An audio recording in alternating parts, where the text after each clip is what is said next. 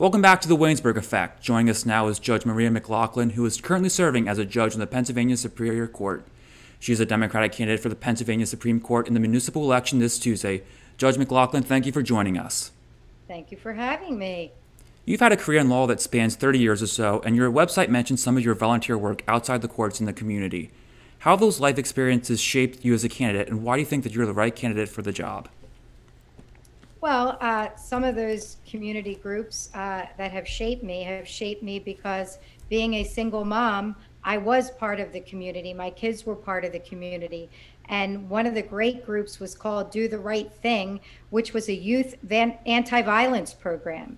And so it was a wonderful program. It was right, W R I T E, not right as you think it. Um, and it was an essay contest, not, not about who wrote the best essay.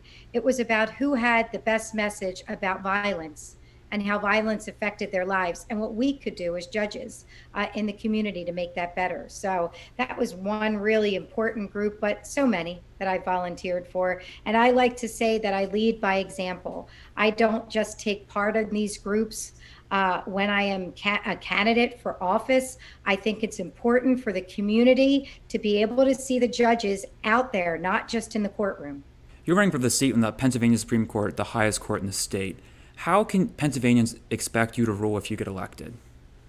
Uh, they can expect me to rule with integrity.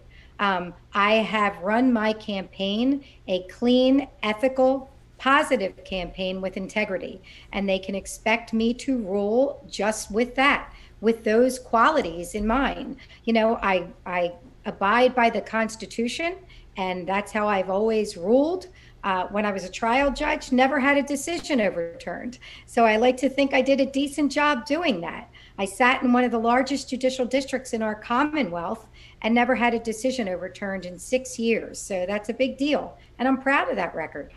Sure. Just as a follow up question, when we in- interviewed Kevin Brobson, he said that he would not legislate from the bench. You echoed that sentiment during a forum hosted by the Free Library of Philadelphia and the group Pennsylvanians for Modern Courts.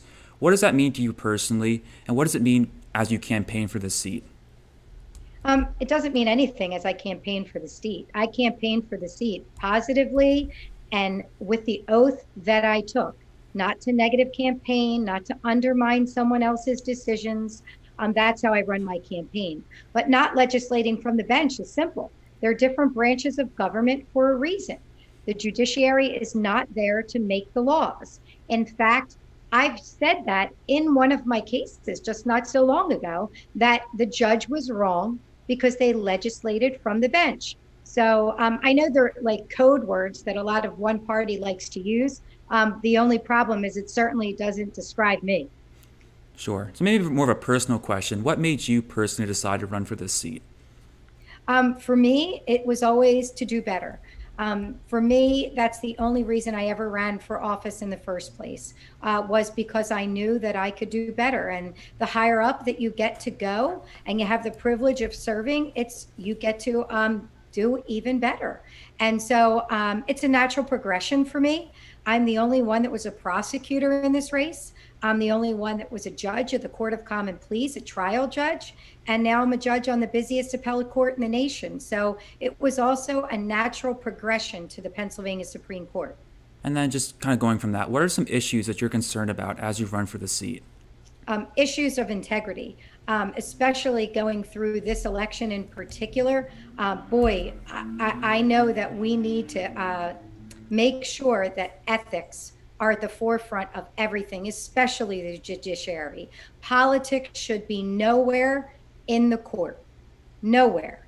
And, and I think everyone knows, the citizens of Philadelphia, after this election, um, that justice should never come before politics. And I have proven that I will never do that.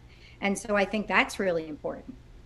And we have one more. We have time for one more question before we close. We're just a few days away from the election. If there's a voter here in Greene County that's currently undecided about how they're going to vote, what's your best case? The way best way to present your case for them to vote for you?